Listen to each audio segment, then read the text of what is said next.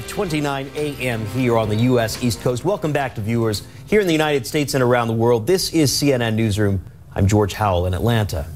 And I'm Hannah Vaughan-Jones, live for you in London. It's just coming up to 10.30 this Saturday morning. The headlines for you this hour. Chinese President Xi Jinping urged restraint towards North Korea in a phone call with the US President Donald Trump. Mr. Xi called for diplomacy to defuse the situation on the Korean peninsula. He also said all parties should avoid escalating tensions through their words and their actions. President Trump says he won't rule out military intervention in Venezuela. A top Venezuelan official accuses him of making, quote, cowardly, insolent, and vile threats.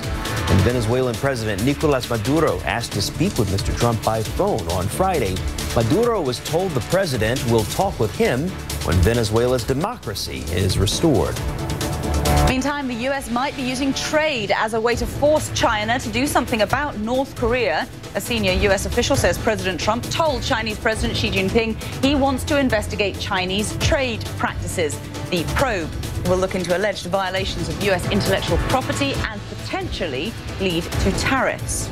In Kenya, demonstrations broke out in part of the country after election officials declared Friday that President Uhuru Kenyatta had won a second term in office. Mr. Kenyatta is urging peace after that divisive election there and says it is time for Kenyans to put their differences aside.